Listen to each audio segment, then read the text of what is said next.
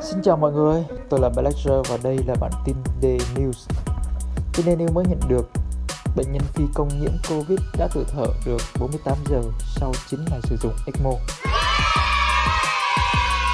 Các bác sĩ điều trị cho bệnh nhân dự tính sẽ mất nhiều thời gian hơn để tự thở, nhưng qua đây cũng biết được phổi bệnh nhân đã hồi phục vậy. ECMO đã làm gì được cho bệnh nhân?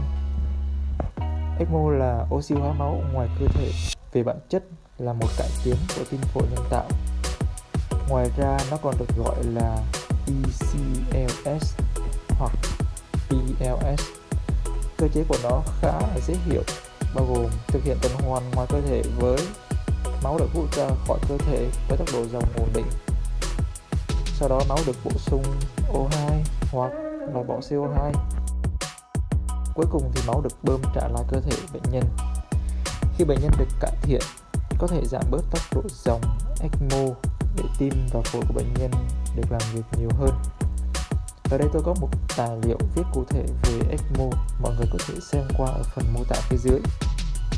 Qua cơ chế trên, chúng ta có thể thấy rõ ECMO không có tác dụng chữa lành phổi mà là giúp hỗ trợ quá trình chữa trị phổi của bệnh nhân. Hiện tại thì bệnh nhân đang thở oxy 2 lít trên phút và dùng các thuốc kháng nấm, kháng đông và giảm đau kèm theo dinh dưỡng bổ sung. Hy vọng bệnh nhân sẽ hồi phục trở lại bình thường nhất có thể để anh em mình còn được tự hào. Đúng không? Ở đây là bản tin B News. Đăng ký và nhấn chuông để nhận được thông báo của video mới nhất nhé.